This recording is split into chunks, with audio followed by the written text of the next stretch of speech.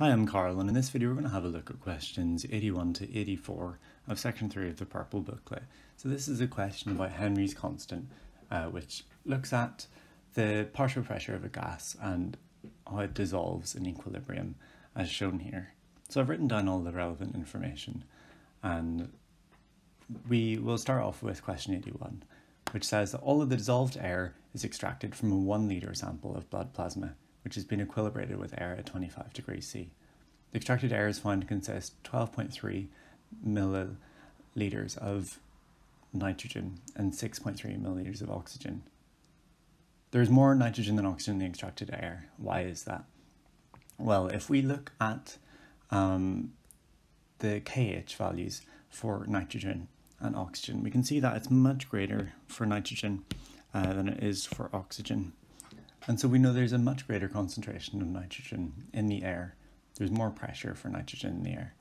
Um, and then that points us towards answer D, which says the higher partial pressure of nitrogen in air causes its concentration in plasma um, will exceed the O2 concentration. And from the equation here, that looks at what KH actually is, does support this um, because the higher the concentration um, of the gas in contact with the liquid, the higher the KH will be. So therefore, we know the answer for number 81 has to be D, just from the information that's given to us. If we look at 82 then, it says the partial pressure of argon in the atmosphere is 0.093 atmospheres, which I've written here. Which of the following is the best estimate for the equilibrium constant or concentration of argon in the blood plasma? So we're going to use the equation that we're given here for Henry's constant, which is Kh equals the pressure of X over the concentration of x. We've been given all the values we need, it's just a matter of subbing in the numbers over x. Great. So if we um, just solve for x, we can multiply both sides by x and divide by 732. We get x is 0.0093 over 732.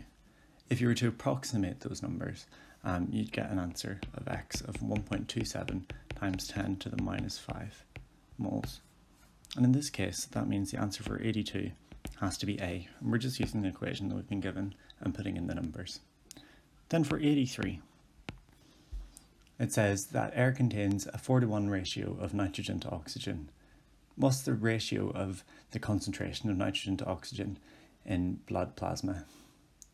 Well, if we have a look uh, again at the values of kh were given and I've added um, an extra zero here.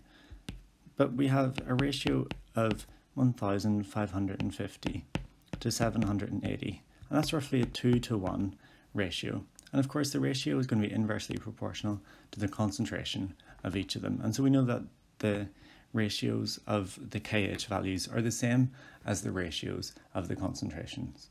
And because we've got a 2 to 1 ratio here, we know that the answer for 83 is therefore going to be C. If we look then at 84, it says about deep sea divers using helium and oxygen as a mix um, because of the solubility of helium. It says if the blood plasma of a deep sea diver was found to have equal concentrations of dissolved helium and oxygen, which of the following is the best estimate the percentages of the gases in the mixture?